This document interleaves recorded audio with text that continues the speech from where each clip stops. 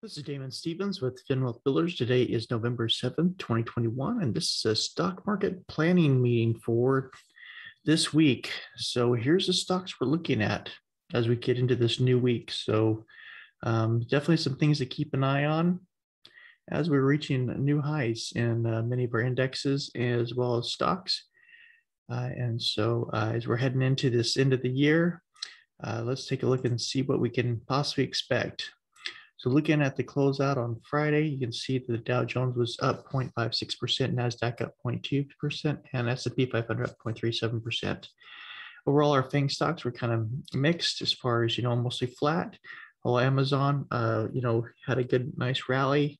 Facebook was strong as well. So, um, so those were kind of the leaders. You know, overall, you can see kind of a mixed bag. Um, for, you know, on financial side, uh, Visa was uh, doing really well as well as far as and as well as um, Mastercard. So definitely a couple of stocks to take a look at. Uh, looking at the uh, heat map over here as well as far as China, you can see China's red. So you know, do we get a pullback on Monday a little bit? You know, that's a possibility. You know, overall it's pretty well mixed, but uh, China's coming in red here, which means you know we could possibly see a little bit of a pullback, possibly starting out the week but we will um, see because right now we're in a very bullish market and things continue to to uh, do well. Uh, looking at our overall scanner, um, I did not catch any of these scans, uh, any of the uh, stocks here that were trading on Friday, but uh, there was a few of them here. KDNY did well and Big C did well as well. So hopefully you're able to catch some of that. Uh, looking at the earnings coming up this week, this is what we're looking at. So we're looking at, I'm looking at PayPal for Monday at close. AMC and Roblox and Lemonade. I think uh, you know we're definitely going to have some good trades in those areas. Tuesday too, probably our strongest day. NIO, Palantir, Coinbase, Fubo, um, Power Plug, Plug, Plug Power, Wynn. So uh, and then on Wednesday, SoFi, Wish, Affirm. Uh, it's the area of focus, and then Thursday, you know, kind of kind of flattens out during the week. So really, you know, end of day Monday, Tuesday, and Wednesday is really the days I'm looking for for strong earnings this week. Um, IONQ from last week. So this multi-day trade. See here that we're continuing to rally up here from Friday, uh, low of, nine, of 1812 here. Um, we closed out uh, just around 1937. Uh, and then after hours, you can see here it's almost a 20. So looking for a breakout play on Monday uh, so we'll just see if that happens. Um, but you see here we're above the 20, looking for a breakout to uh, to new highs, possibly you know 22 um, or higher. So we'll see. Um, so be prepared for that if you're looking for uh, a stock to trade. Airbnb had a huge gap up on Friday uh, after earnings, so Airbnb just rocked it. Um, do we have a retracement? Uh, possibly down in 192 uh, area is what I'm looking for as far as a pullback possibly. If we can break uh, above this 201.62, looking for a continuation play up towards 212. So that's definitely on our short list on Monday. Uh, Facebook um, gapped up as well on Friday uh, and actually went up towards uh, this uh, this high here of uh, 346 and then kind of pulled all the way back. So it's great that it's above the 150. So we like that. Uh, if it breaks back down, it could go back and just fail and close this back this gap uh, on Monday. Uh, but if it can continue to rally back up here, we're looking for continuation back up to the resistance area of 346, 347 area. See if we can break out towards the old highs. Tesla kind of flat, kind of a little bit weak here. So I'm seeing some weakness here between you know, Thursday and Friday last week, seeing if there may be a pullback possibly down to our trend line of 1160. Uh, so looking at a possible pullback here and then a bounce off that. And we'll see where it goes from there, whether it can pop back up towards resistance uh, or kind of consolidates. So looking for, you know, what this week's going to bring. Could actually be flat up here, but not quite sure what we're going to do. So we'll see what happens with price action. Uh, NVIDIA, NVIDIA had a nice huge pop and rally on Thursday, pulled back a little bit on Friday, try to rally back up past this resistance area around 313, 66 area, pull back, found support here uh, where um, the stock closed out on Thursday as well. So seeing if it can get some energy to pop back up. If it finds weakness, it may retrace this candle a bit more, maybe down to 284, 285 area. Uh, if it does get really weak, it's going to come back here, possibly down the bottom of this uh, this breakup candle, which you know is common to happen. So looking to see if we can break back above 298. If we can, looking for rally back up to 313. If we break below 297, looking for a breakdown possibly to you know 285 or lower. Calyx, so Calyx been a nice strong bullish trend at resistance here, um, just uh, below you know 418. Looking for it to break out and to continue have a continuation up to 430 is the next breakout level to reach. Uh, if we do find weakness here, you know, we're you can see we're above the, the upper trend line, so it could be possible that we could retrace back down here to this 402, 403 area. So looking at that's a possibility as well, based on this hyperextension here, as far as this rally we've had. AVGO, same thing. We had a huge rally up.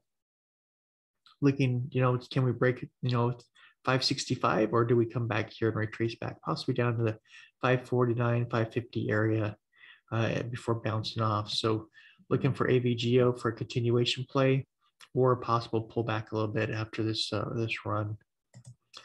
Uh, looking at uh, you know overall tracking stocks that we track on a daily basis. So the bonds you can see here we're kind of flat above 50, above the 100, actually below the 50. Uh, so looking that's good for the overall market. Uh, the VIX kind of elevated a little bit back up here towards this 20 moving average and then pull back a little bit just under there.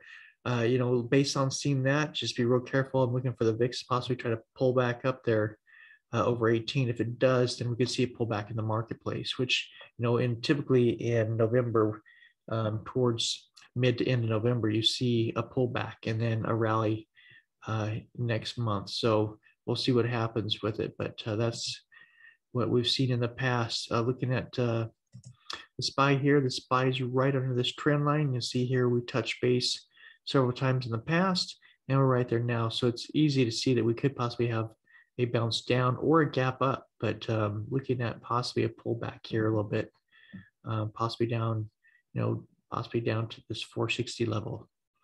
So looking to see what uh, it's going to happen on Monday. You see triple Qs, we got above that trend line as well. Looking for a possible pullback as well on the triple Qs.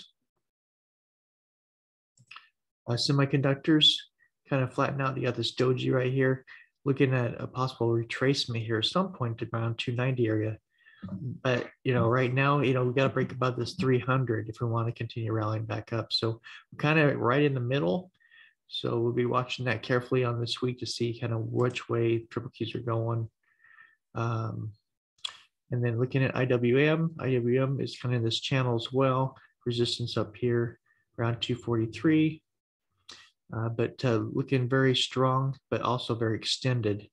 So it's very likely we could have a little pullback here, maybe to 240 or maybe even 238. But so far, looking pretty bullish on IWM, our Russell. So um, Dow Jones, Dow Jones, we're kind of come up here, got above resistance here, but kind of in this channel, you know, so we're looking at some strength for Dow Jones to see if he can break through that resistance around 364, 365 and rally back uh, higher to maybe 370 or above 370 uh, for. So we'll see what happens there. Just be careful on that one, but uh, looking good, still bullish. Financials flat, but above the 20s, so that's good. Um, gold had a nice like rally up got back above 1800, which is what we've been waiting for. Uh, and it held, which it had not done before. So gold's looking a little bit better here. So as long as we can hold above that 1800, uh, next level is around, you know, 1830.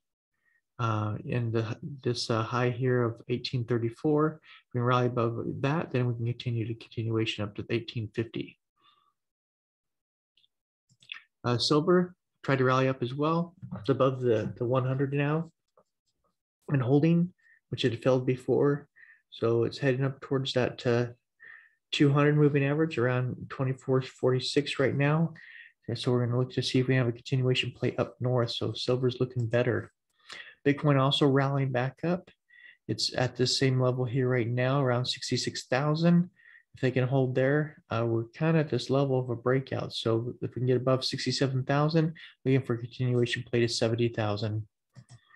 Ethereum broke through the upper trend line here. You can see and it's held.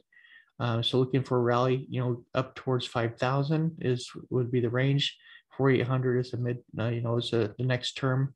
But Ethereum continue looking strong as well. Uh, Shiba continue to pull back. It's sitting here on the 20 right now. If you can hold the 20, could possibly bounce off there. If not, we're going to continue to see that weakness down, you know, towards probably getting towards the uh, the 50 here. As you can see, we've had two breakdowns now. We're sitting right on support right now. So we've got to rally off this if you want to see some strength in Shiba. That's our market. That's what we're looking for on Monday. A lot of lot of action going on right now in the marketplace. A lot of earnings still coming out. Um, and so looking at for some continuation plays on those and hopefully you have a good week. So stay safe out there on Monday and uh, happy trading.